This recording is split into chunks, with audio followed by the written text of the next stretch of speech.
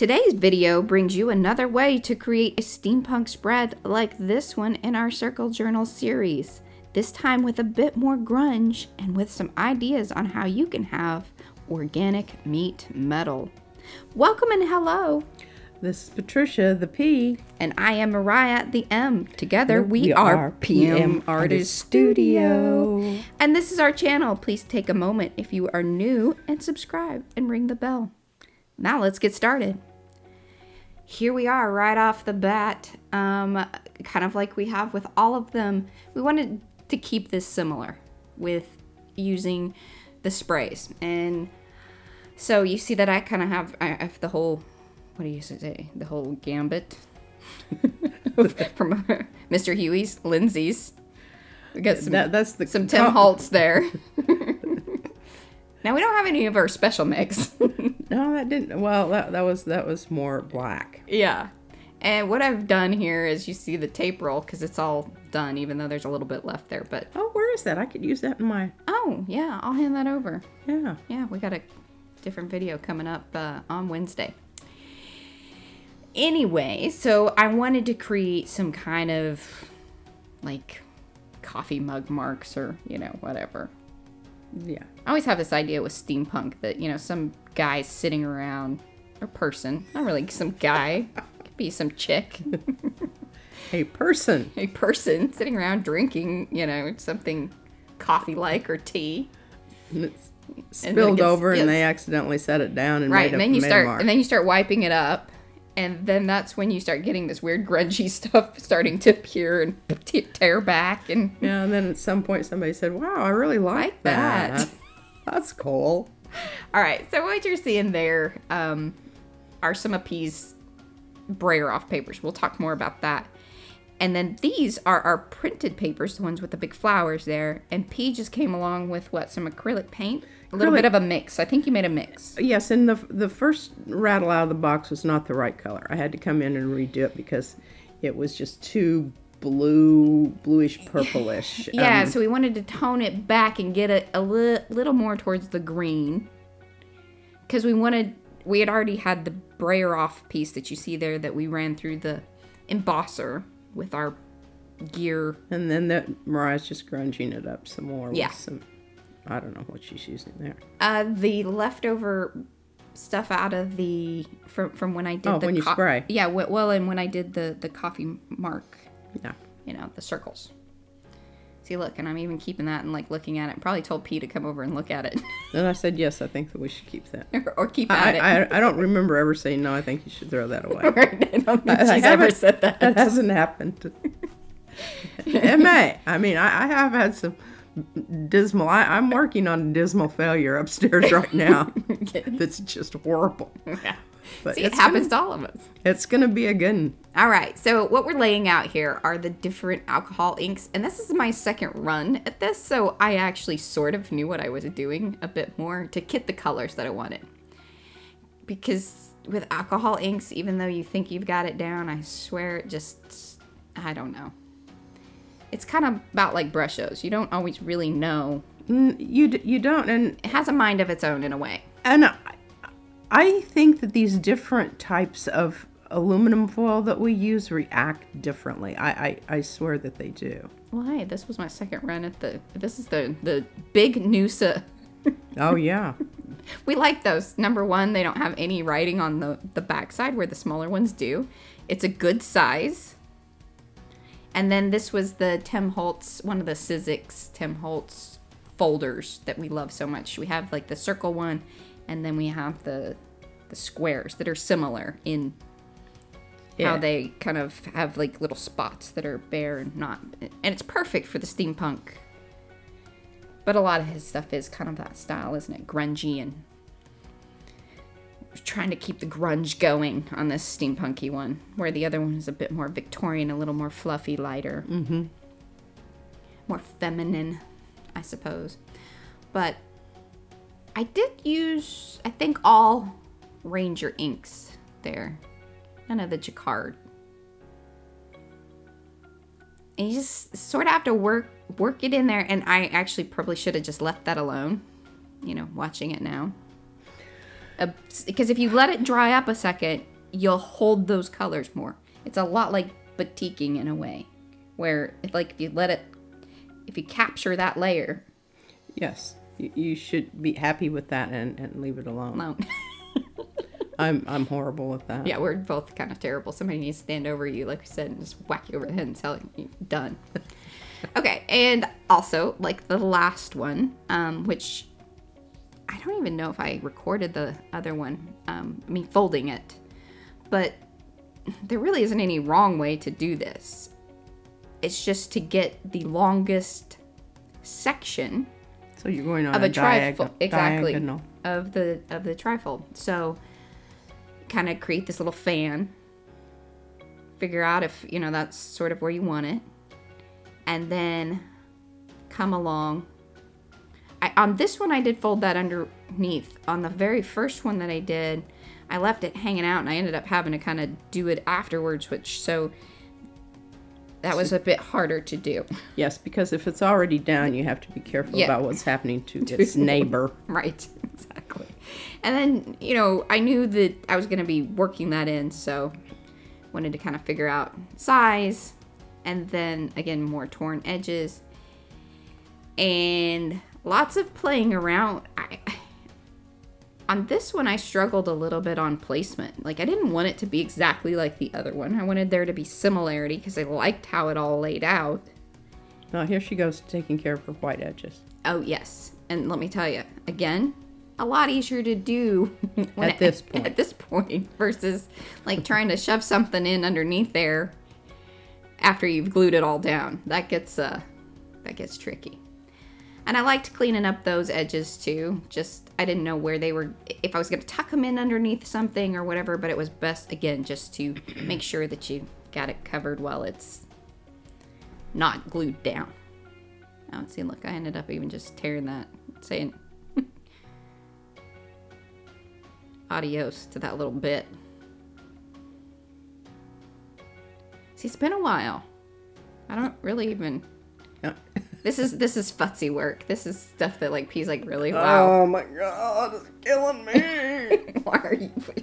Why did you even show that? Nobody sure some- cares I'm about sure that. Some people out there are like, oh, trust me, we'll, we'll move on here in a second. See, but look at that. It's starting to kind of Yeah.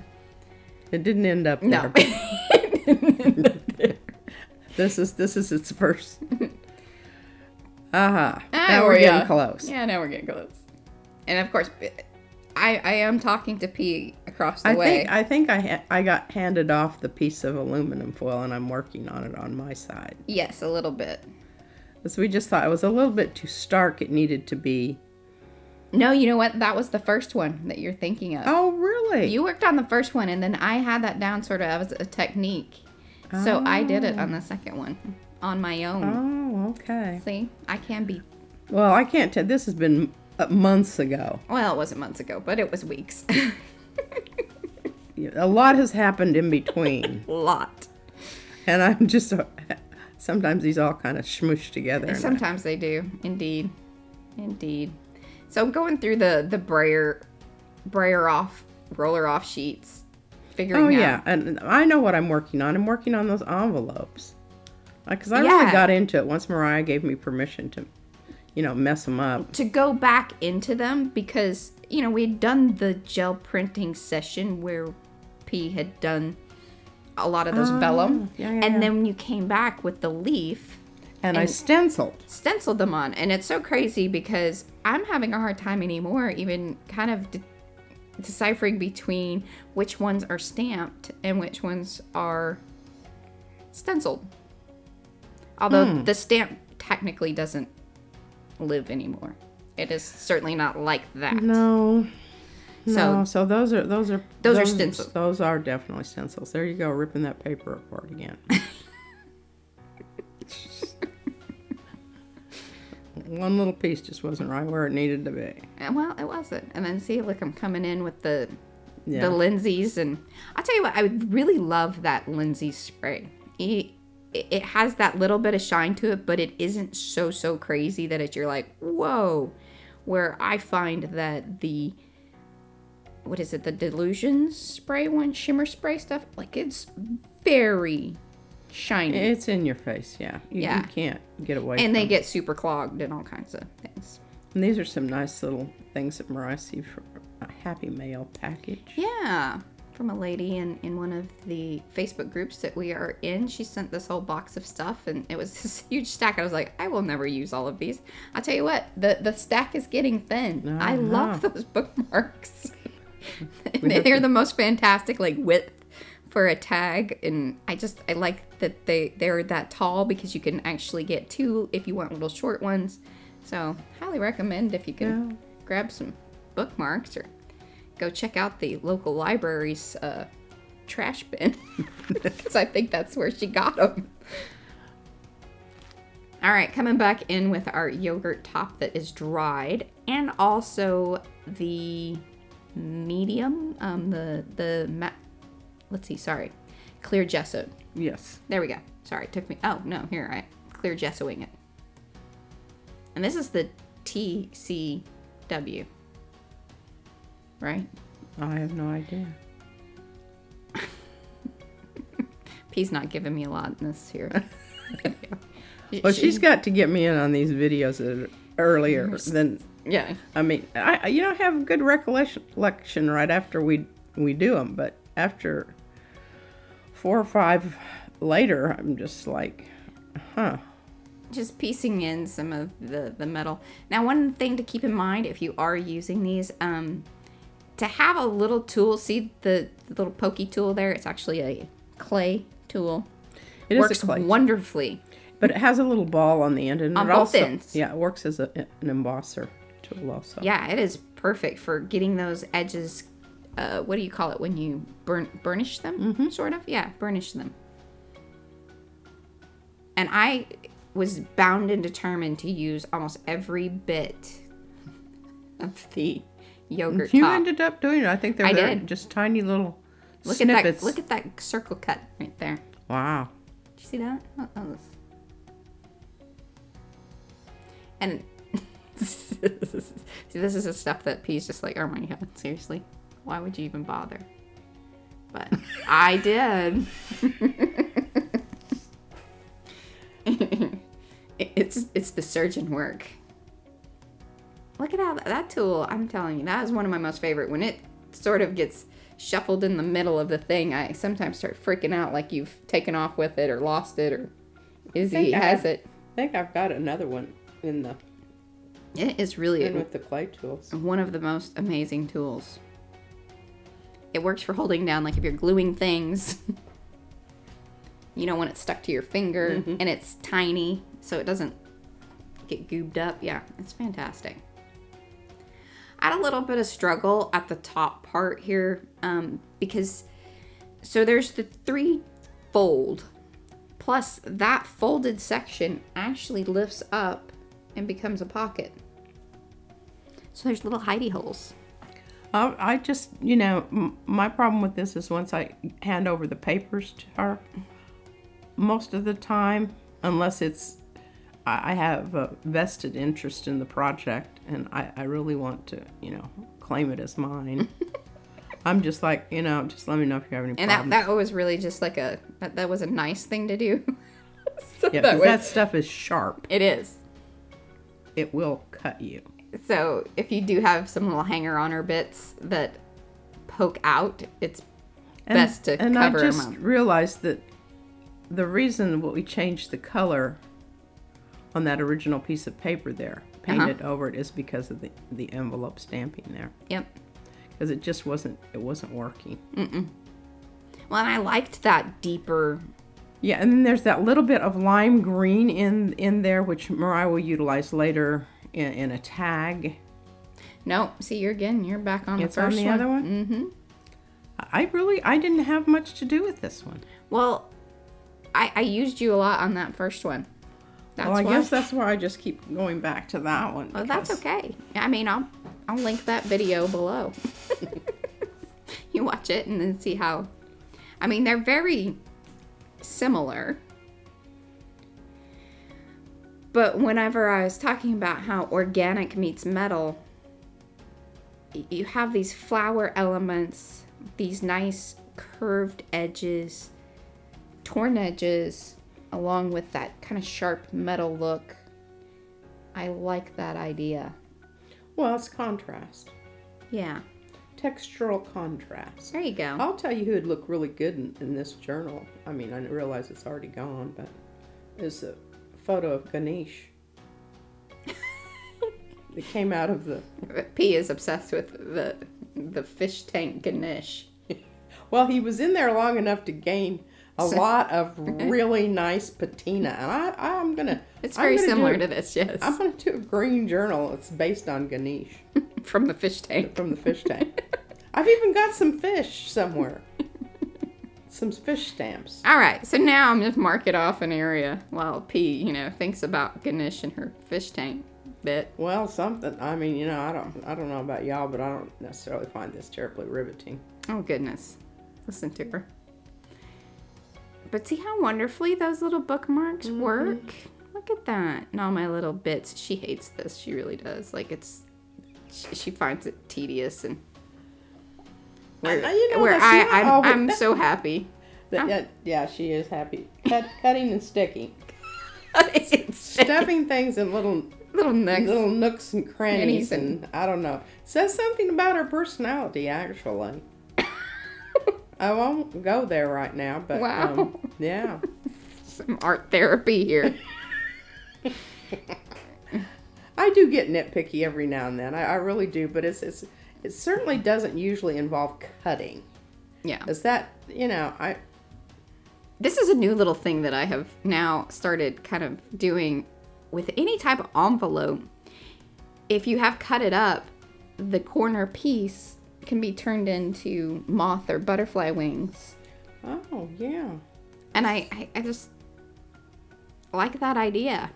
And what's really cool about the vellum is it, it sort of curls up. And then I had the little piece left over from my cutting and, you know, stuffing that then became the body. And I even cut like little, you know, use my decorative scissors there.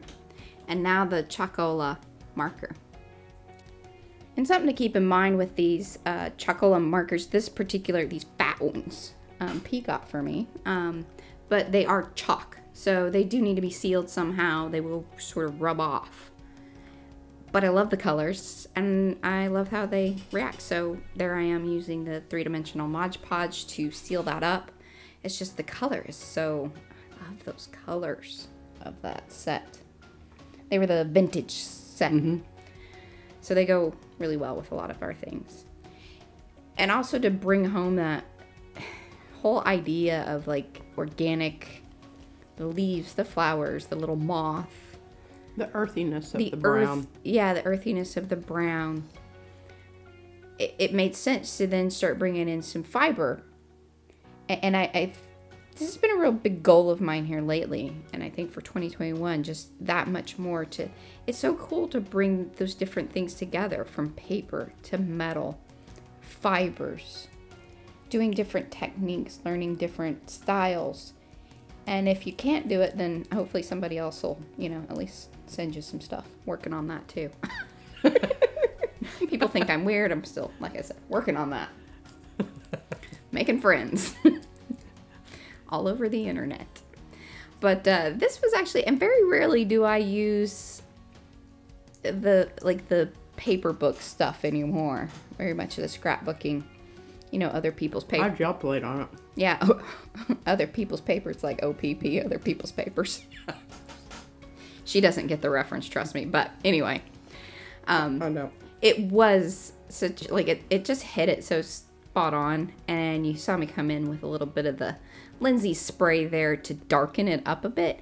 And it's kind of interesting with these foiled papers that you purchase how well they do take different colors and the foil stays and then sometimes it colors ever so slightly which is pretty nifty as well this was about the time that i got those were like brand new my Finetec It was Mariah's Benetech. early Christmas present. It we don't was. buy each other Christmas presents or birthday presents. but they were perfect for the I, I, I knew they were the minute I saw them. yeah All right, so didn't get it on video, but P wrote on the back of that a nice little quote in her lovely scripty handwriting. Thanks, P. No problem. It was perfect because I can't write like that. I have kind of one style. Mine. if I want something else, I print it. I know where to find that font. um, but plenty of glue there. I should say. Is it ooshing over? Well, I wanted to make sure it filled up. So, one of the things to keep in mind whenever you do emboss the papers, if you want it to really hold up, if you get enough glue in there, it fills the space Ah. and it holds better. Well, and then when it sets up, it's Right. It, it, it forms It's into. there. Yeah, exactly. So, another little tip or trick there. Yeah. And and that is necessary necessary with the aluminium foil of Don't any listen to her, any aluminium. any um any kind because some of them are a little more fragile than others and you really do want to go heavy on Yeah. the glue even if you have to kind of scrape it off the edge or whatever. Yeah. in in the long run you you will be happy you did that. But here, I think we're kind of coming to the end, um, using up those bits and pieces of the the envelope that I had left over. What was funny is, ah, man, that vellum stuff is so weird. It tightened up on me, and so that tag curled up a bit because it just it's such it's such weird stuff, man. It, I have a, real love hate. no, I just hate hate. Just hate. There's no love. I love. I like the way it looks, and it's just it's one of those things. Kind of like some of the people that you know. You know, wow, they look really good, but you put some glue on them, and they're All right, so now we got it in the box. It's all done. Look at that little accordion almost oh style there. yeah. Little fluffy bits. See, just the little pieces and parts left over from offcuts created all of those tag bits. Piece, lovely writing. That Freddie Mercury quote. Oh, that was such a good one. Yeah. Little pieces that I kind of threw in for him. Some close ups there. Little string. My little moth. It's like a little dangle. I don't know, like if you wanted to, I know how some people put it on the edge of the page, or just you know little bits to dangle from the tags. It works well. And as always, if you have liked this video, please do so with clicking. Leave us a comment. And don't forget to ring the bell. Thanks for watching. Bye. Bye.